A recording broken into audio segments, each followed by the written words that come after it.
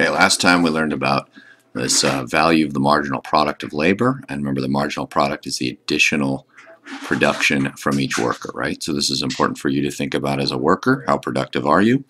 And it's also important for you to think about as a manager because how productive are your employees, right? And how can we get them to be more productive?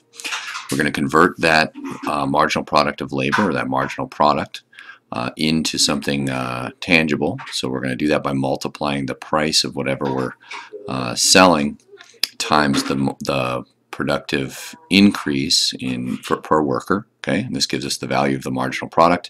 The formula for that is just price times the marginal product of labor. So let's do an example here. So here I've got uh, five workers. This is an amount of bushels of wheat that they can produce.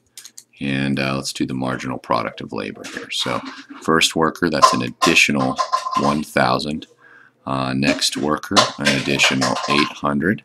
Next worker, an additional 600. An additional 400. And an additional 200. Okay, so this is the value of each worker in terms of bushels of wheat. Okay, now we're going to multiply this by the price of each bushel, and this is a perfectly competitive market, okay, an agricultural market times 5.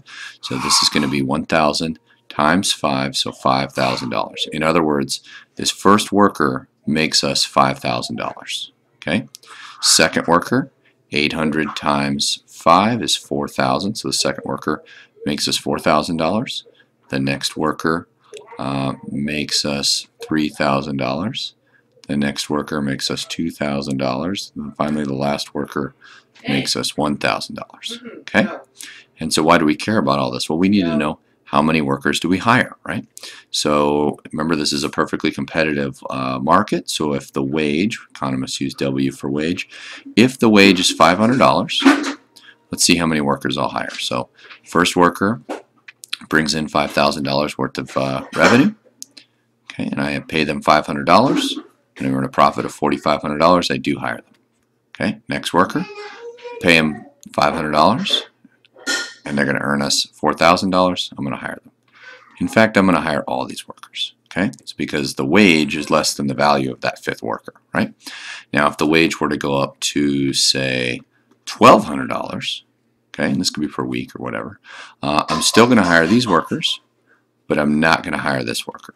Okay, at $1,200, this worker is only going to bring in 1000 and I'm going to pay them uh, 1200 Okay, so this is same stuff we already worked out.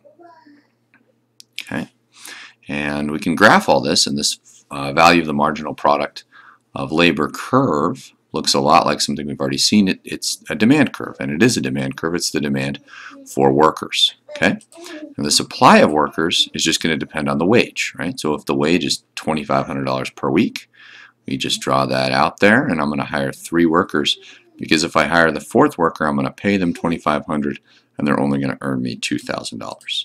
Okay, so that's how to that's how to calculate that. Okay, now one thing that we might do here is, uh, in order to think about all this, is we'll think about our side-by-side -side graph okay, that we've drawn before. Okay, should have had these drawn out before, I'm sorry.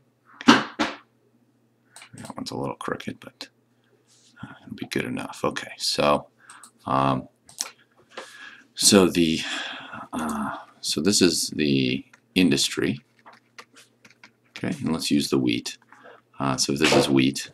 There's some kind of world demand and supply. That should be more straight, but that's okay.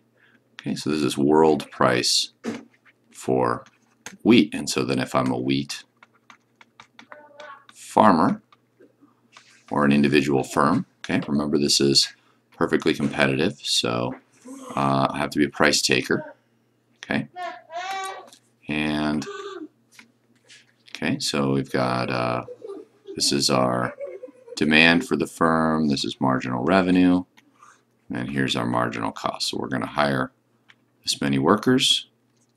Uh, sorry, this. I'm sorry. We're going to make this much wheat, and I'm going to hire the workers to produce this much wheat.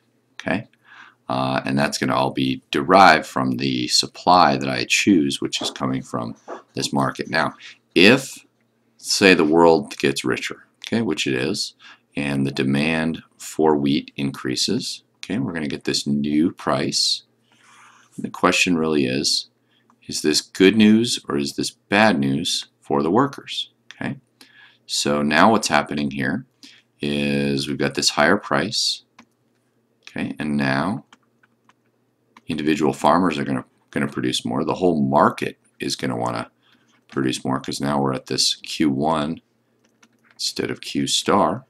Okay, and so the world world production has produced has increased, uh, and since the price went up, this means that the value of the marginal product of labor also went up because this comes from uh, the marginal product of labor times the price. So if the price goes up, this is going to cause a, an increase in the demand for these kind of workers. Okay, so the two things that are going to cause that is getting more productive from the worker side or an increase in price. We've learned about a lot of those reasons.